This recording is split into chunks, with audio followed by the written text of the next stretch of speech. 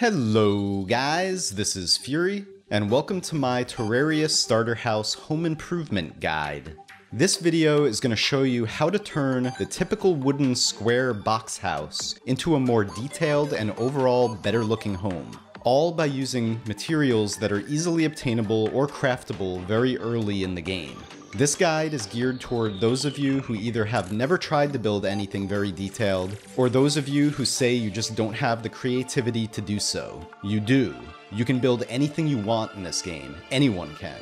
So hopefully this little guide can help you out a bit and get you started on that. Anyway, let's get started. Okay, so here we have a wooden square box. it's ba the basic, uh, basic little newbie house.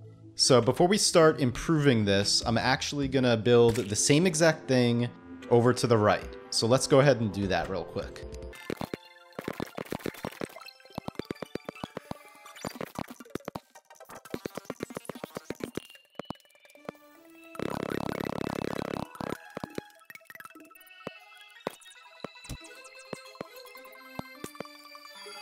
Okay, so the first thing we need to do is get rid of this door. Anyway, for real, the first thing we need to do is we're gonna build a roof, like a real proper roof, out of gray brick, because gray brick is pretty easy to get really early on. So first, just gonna build this triangle, and if you've seen my first part of my roof building guide, then the roof we're making is uh, roof number one, the single or whatever, that's what I call it.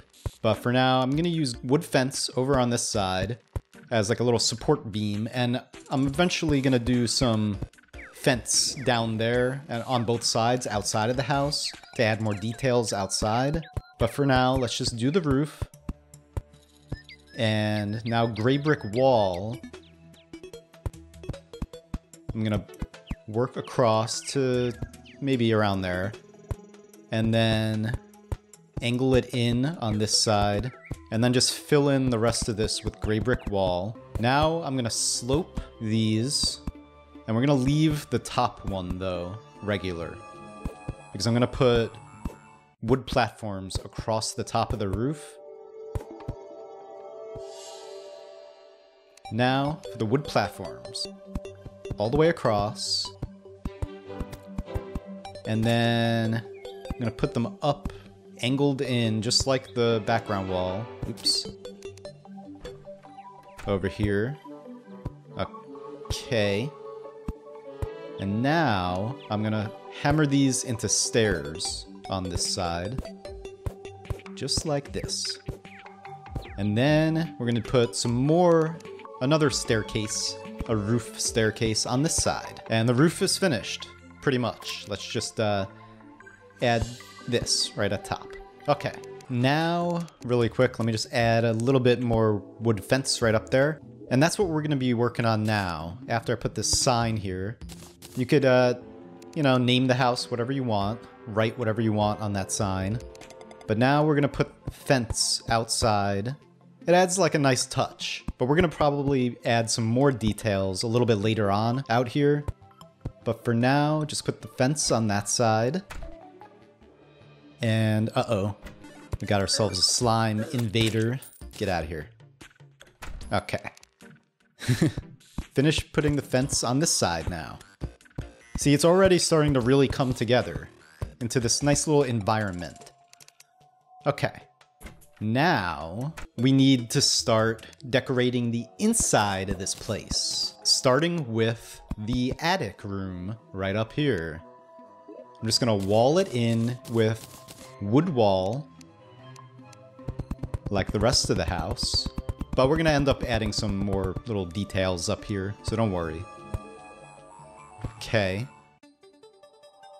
Now, something I really like to do is I like to use trim in the rooms like this. I'm using gray brick wall because it ties it in really nicely with the roof. Like this whole, this house is a wood and gray brick build. So yeah, adding this trim inside to the rooms makes it look really nice and it pulls the whole thing together and it actually adds you know, a nice nice bit of detail to it, and it's such an easy thing to do.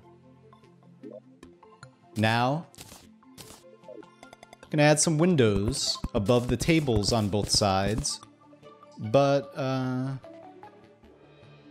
Okay. Three by three.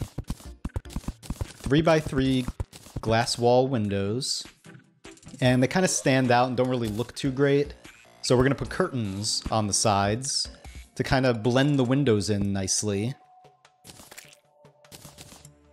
And if you take a trip to your dungeon entrance, you can steal some either metal shelf or wood shelf or uh, bronze shelf. All of them look good. So just take a trip there to your dungeon entrance and steal some books, steal some shelving, and look at that. Because any, any, all three of those shelves look great as uh, curtain rods.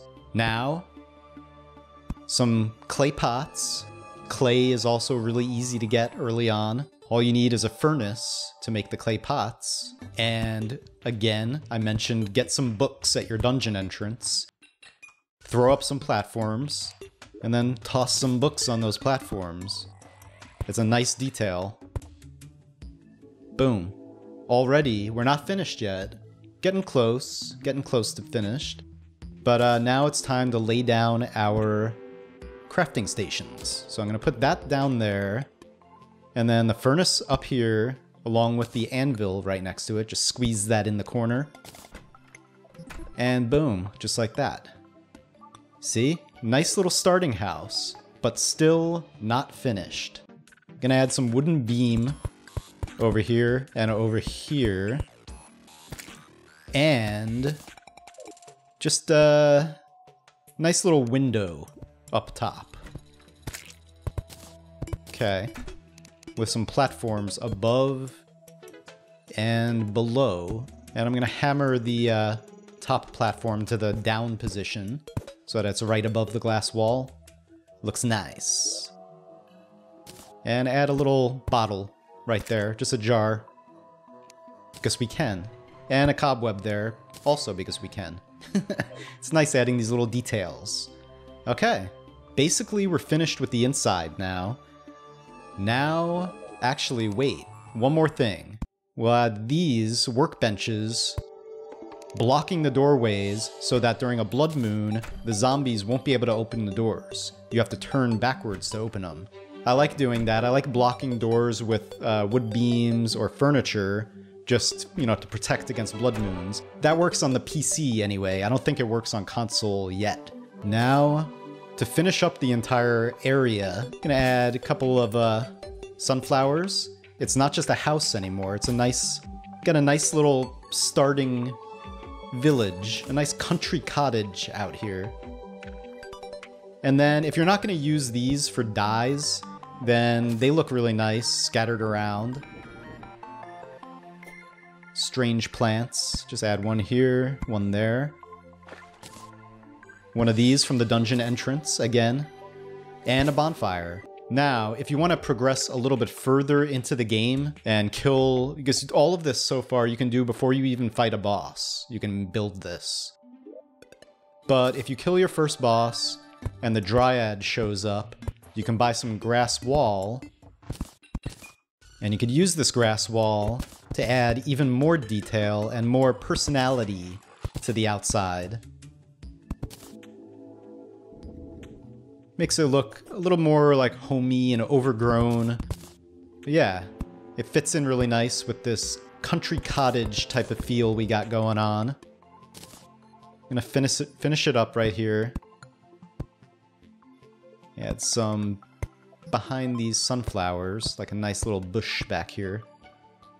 And there we go. We are all finished, guys.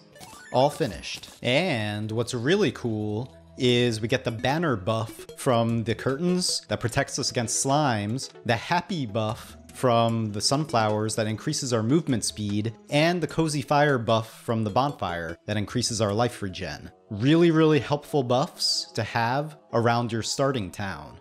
Anyway, I hope you guys enjoyed this, and I especially hope that some of you find it useful. Remember, you can build this very early on in the game. The hardest materials to find are probably the books and shelves from the dungeon, but that's only because you have to walk all the way to the dungeon.